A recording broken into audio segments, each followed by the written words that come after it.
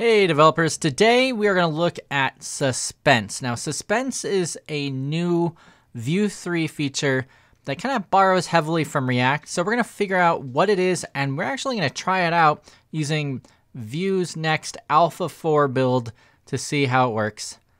Let's begin. Before we get too far, let's have a quick word from our sponsor, Eduonix. That's E D U O N I X dot com. So they're always having these sales all the time. So I thought I would go ahead and mention them again. So one really cool course you guys are might be interested in is this Mighty JavaScript bundle. This is crazy. It has 22 courses. It's 191 hours of content. So basically, you're learning the most popular programming languages with this one-stop solution bundle having 22 exclusive courses with more than 190 hours of video lectures. It covers over 10 exclusive concepts revolving around JavaScript, such as JavaScript fundamentals, modern and advanced concepts of JavaScript, including data structures, ES6, Node.js, Vue.js, Aurelia, ExpressJS, and so much more. And if you use the coupon code ERIK, E-R-I-K 20, ERIK 20, at checkout, you can get 20% off above and beyond existing sale. So make sure you look at the link in the description, click on that link, and then apply coupon ERIK coupon code ERIK20 at checkout to get 20% off. Thanks to Eduonix. All right, so I have the Vue, this Vue Next Webpack preview that Evan You created. It has the latest version of Vue 3, which right now is in alpha 4 status. If you look at the package.json, you can see here Vue 3 alpha 4. And I just wanted to show you kind of a neat concept that's coming to Vue 3 that that uh, I've heard a little bit about, but I wanted to actually see if I could try it out. And I want to show you guys how to use it. So when you upgrade to Vue 3, you can use this new feature, and that is called Suspense. So Suspense actually borrows heavily from React.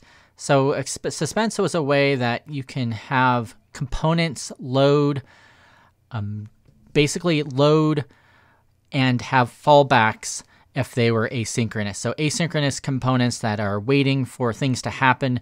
If the something inside the asynchronous component fails, then you can have a fallback. So you could have like a spinner that spins while the asynchronous component is loading, and then if it fails, you can have like a loading a fail state. Otherwise, you can display the the component itself. So I want to see if I can do that this here. So this is the basic Webpack preview that Evan You created, and all it does is have this click this click button, and it shows Hello Vue 3. So let's create a new component. I'm going to create one called, let's just make something up. I'm going to call user.vue, and I'm going to go ahead and just create a, a template here, just some basic information. And this is going to say hello from uh, user component. And now what we want to do is we want to actually use Vue3. So we're going to have a setup function. So we're going to use the composition API as if this was a brand new Vue3 app. And we want to somehow simulate like we're talking to a promise. and this promise is either going to fail or it's going to return with some information. So I'm going to create an async. I'm going to create this as an, as an async setup. And now I'm going to create a promise. And it's going to have a resolve and a reject. And let me close this out so you guys can see it a little better. Yeah, we're going to have a resolve and a reject. Have an arrow function here. And now I can just create like a set timeout, which I'm going to have function in here. And I just want to resolve it. And to resolve it. I'm just going to return back success. And I'm going to put two seconds as the timeout. So this is uh, this is my promise that I'm going to be using. And of course, we need to now wait for this promise. So I'm going to wait this promise. I have an equal here. Wait promise. And then I'm going to return it. So this is basic composition API 101. And then right here, I'll put an H5. I'm not going to use any CSS in this one. And it's going to display the user, which should just say success. So now I've created this component and I should be able to use this component in my main app view. And as you see, we have some asynchronous stuff happening in here. Now, if I go back to my app view, I can import, we're gonna call it oh, user from user.vue. And we're gonna have this components object where we're gonna declare the user. And then we're gonna just throw the user in here like this. So if we do all like this, we're actually going to get an error. So let's see what it shows us right now. So in the console log, it says, cannot use keyword await outside an async function. So let's see what we did wrong here in my user. Uh, I, this is an async function, export default, const promise, but it doesn't like this await here. So you know what we did is this promise here is not right since we are engulfing everything in here. So we actually want to take these two out. That's my bad.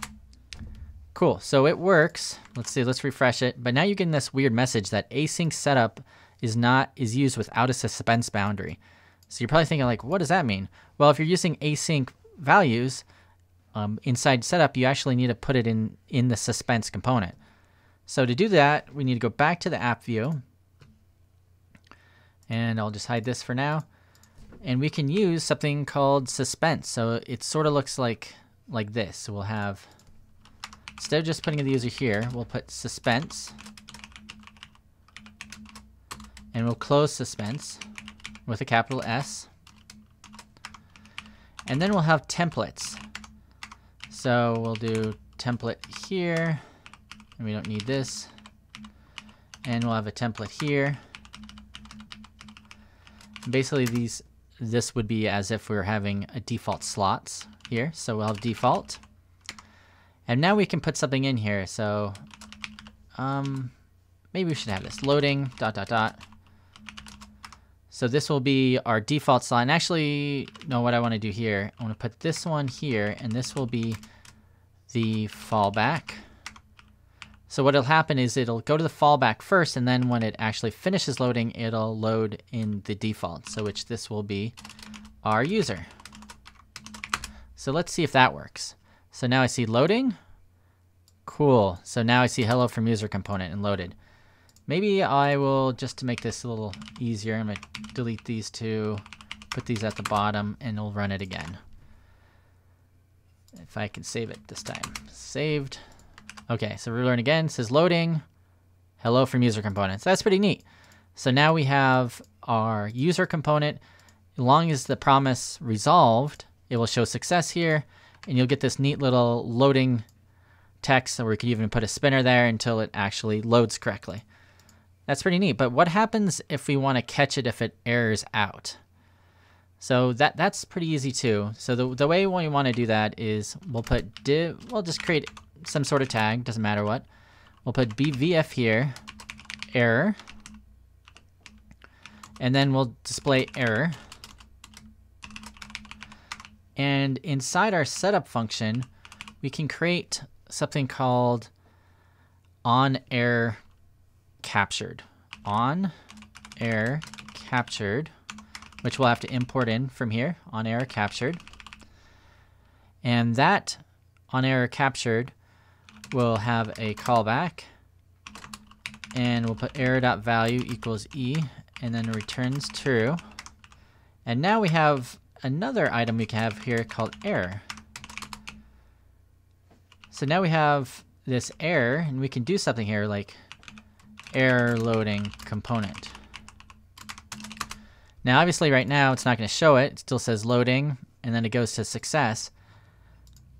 But we should be able to simulate a failure. So instead of resolving it here, we're just going to reject it.